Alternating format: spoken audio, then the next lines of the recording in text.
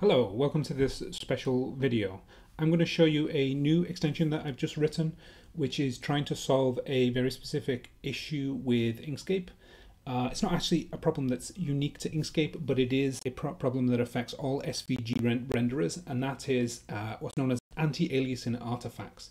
This is where you have two shapes that are right next to each other, and um, because both shapes are anti-aliased, it creates this uh, white gap between the two. This is a problem that actually affects browsers and various other things at the same time. Uh, it's all to do with the way that the shapes themselves are rendered sequentially. Uh, so there is a technique that you can use in order to alleviate the problem. the technique involves using other tools and it's a complicated process and there is a best practice for the steps to do in order to get the best results. So I figured instead of uh, forcing users to go through this entire process, why, why not do what uh, Adobe Illustrator does, which is have an art mode, which uh, does all of these steps for you. Um, one caveat, and that's that because uh, Inkscape 1.2 is just about to come out, this is not something that I'm going to be shipping Inkscape uh, yet uh, until I've worked out the entire design of what I want to do but I want to get it out, out, out, there to see whether this solves a particular problem problem people have in the way that it's supposed to.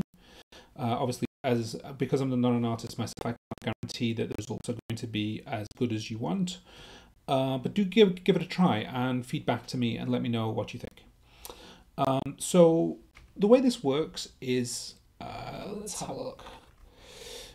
Say you have Inkscape and you have some shapes uh, that are, say, right next to each other. Make some shapes. Let's say you use snapping to get like perfectly uh, equidistant shapes. There we go. Right, you can see I, this is actually going to be very difficult to see on the screen uh, because it is a tiny, tiny pixel.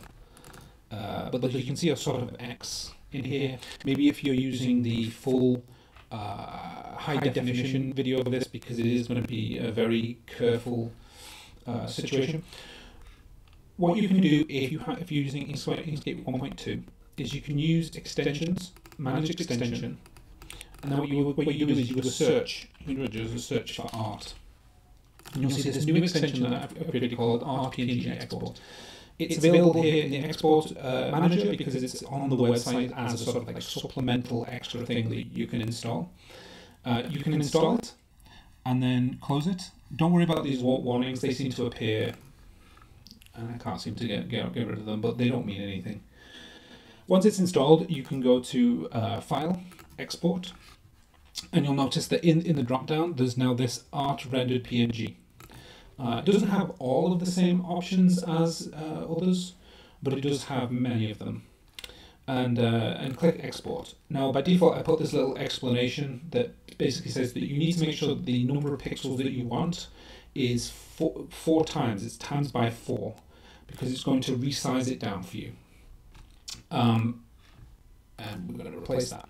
Uh, so what we're going to do is we're going to hide export settings to get rid of that warning, and we're just going to create some something that's much bigger. Uh, probably like dots per inch might be a good, a good control mechanism if you know the, the dots per inch of the final PNG that, that you want. Uh, once you've done that, you can export it, and then uh, yeah, you, you will end up with a uh, PNG file which is this one, which is the, the right size that you want with the, all, all those artifacts removed. Um, the actual code for this, I'm going to show you here, is very small. You can see what it's doing. It turns off PNG anti-aliasing in, in, internally, so Inkscape doesn't try to do aliasing, and then it resizes it uh, by four. Um, but it also does some other things too. So it's changing the color to RGBA instead of sRGBA. This is so that it has slightly better color interpolation when it's downsampling.